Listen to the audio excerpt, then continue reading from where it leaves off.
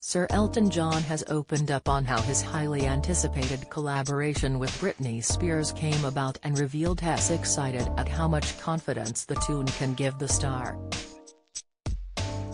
The tune titled Hold Me Closer was released today, Friday, and is the Toxic Singer's first new tune in six years.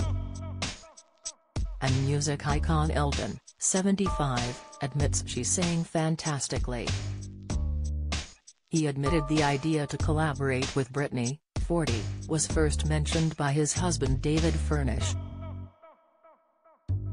Elton said he has always been an admirer of the songstress so was immediately keen on the idea to help her get her career back on track after her conservatorship came to an end last year.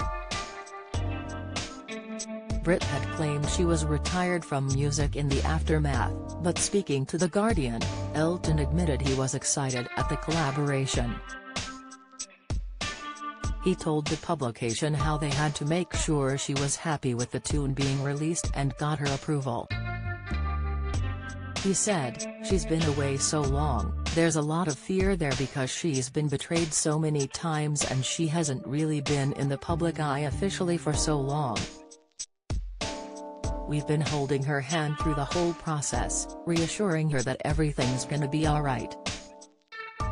He continued, I'm so excited to be able to do it with her because if it is a big hit, and I think it may be, it will give her so much more confidence than she's got already and she will realize that people actually love her and care for her and want her to be happy. That's all anybody in their right mind would want after she went through such a traumatic time. Elton went on to say Britney was broken and candidly discussed how he had previously felt the same way, saying he was in a terrible place. Thankfully, he gushed he is now the happiest he has ever been following his 32 years of sobriety. And he believes it's from his past experiences that he is able to advise other stars and help them out of any dark places they're in.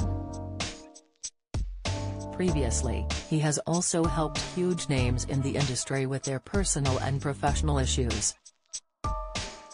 Has been there for stars such as Robbie Williams, George Michael and Geri Horner and says has motivated by the memories of his own struggles. The release of the album comes at a time Britney once again deactivated her Instagram page. She told her followers on Twitter she is enjoying a clean slate every day and is doing what makes her happy and hopes to become as fearless as she was in her younger years. Do you have a story to sell? Get in touch with us at webcelebs Co.uk or call us direct 0207 29 33 33.